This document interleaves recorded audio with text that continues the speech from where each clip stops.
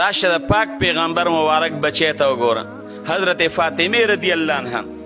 حضرت حسن او حسین رضی الله عنهما دا دواړه ماشومان دی او دا بیماران فاطمه رضی الله عنها وی الله زما دا دواړه بچی جوړ که پوچینی پوچینی دی او کله چې دا جوړ کینو یو درې روزې به زه علی رضی الله عنه دا دواړه به منګ نیس الله حسن او حسین رضی الله عنهما هغه دواړه ماشومان جوړ کړل چې هغه جوړ کړ نو حضرت فاطمه رضی الله عنها هم روژه کړه او حضرت علی کرم الله وجهه هغه هم روژه کړه چې روژه یې ونیوه یو ډوډۍ ورکره کور کې د ماښامې پرته ده نور څه نشته چې خوراک وکړي او چې ماښام د روژه ماتي په ټیم کې هغه ډوډۍ ځان ته مخامخ کېښوده په دې کې سوالګر راغی او اواز یې وکړ د الله د رضا دپاره راله څه راکړې مسکین یمه مسکین دا خو د پاک پیغمبر مبارک بچی ده هغه ډوډۍ د خپلې مخې نه اوچته کړه او هغې مسکین لی ورکړه وایي دا واله علی رضی الله عنه هم په اوبو باندې روژه ماته کړه او حضرت فاطمه رضی الله عنها هم په اوبو باندې روژه ماته کړه همدغه شانتې د پېشمني په وخت کې لږې غونتې اوبه وڅکلې او سبا یې بیا روژه کړه بیا علي رضی الله عنه لاړ څه مزدوري یې وکړه دومره یې څه پیدا کړل چې بس د ماښامې د دواړه خوراک دپاره کافي و د الله شان ته ګوره د رب العالمین د طرف نه ازمایش او امتحان د ماښامې پټې کې بیا یو کس راغی وی الله پاکم وبخه زه یتیم یم او اجتمن یم د خوراک څه نشته د خشته الله په نوم درنه سوال کوم که څه وي راکه د پاک پیغمبر مبارک بچی ده هغه خوراک یې اوچت که او هغې سوالګري له ورکه حضرت علي کرم الله وجهه او فاطمې رضی الله عنها بیا په اوبو باندې روژه ماته کړه دویمه ورځ د خوراک یې ونه که په اوبو یې ماته کړه د خوراک څه نشته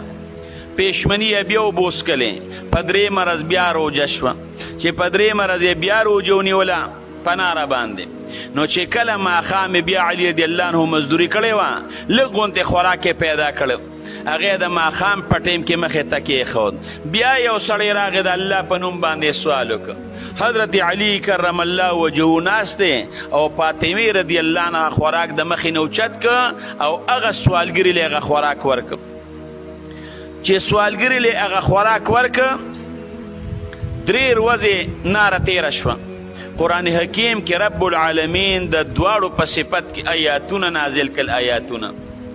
نو ګوره د پاک پیغمبر مبارک بچی ده دې ته نه ګوري چې درې ورځې شي خوراک هم نه دی کړی او زمونږ روژه ده د خپل مخې نه شي اوچتی او سوالګري له ورکوي دغه د رسول الله مبارک طریقې به ځان کې راولو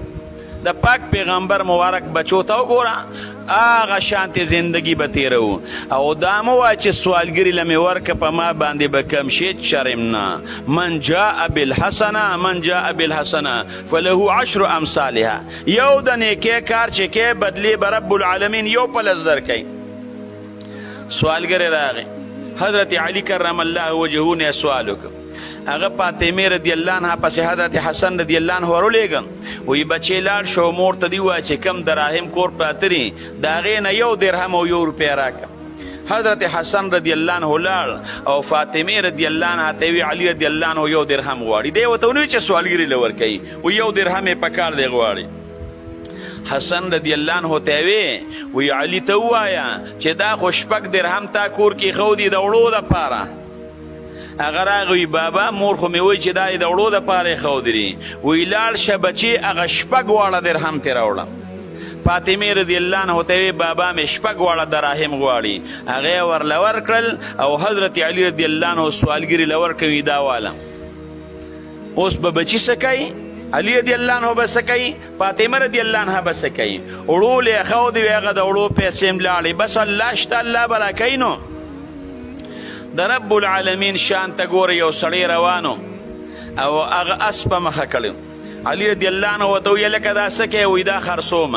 وایي په څو باندې خرڅوې وایي په یو سل او څلوېښت درهمه باندې علی رضی الله عنه ورته وایي دې ځای کې یو تړه او پیسې به دله یو سل او څلوېښت درهمه درکوم خو یو څو ورځې پس په نیټه درنالم او ته وی ډیره ښه ده اسې د حضرت علي کرم الله وجهه مخې ته وتړه هغه سړی لاړ علي رضی الله عنه لا د ځای نه پاسېدلی هم نه دی یو بل سړی راغی خلکو ته وی دا اس د چا دی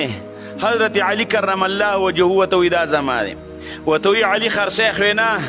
وی ولې نه خرڅوم وی په څو یې خرڅې وته وی په دوه سوه دراهم یې خرڅوم هغه جیب ته ګوتې کړې حضرت علي کرم الله وجهه له دوه سوه دراهم ورکوي دا واله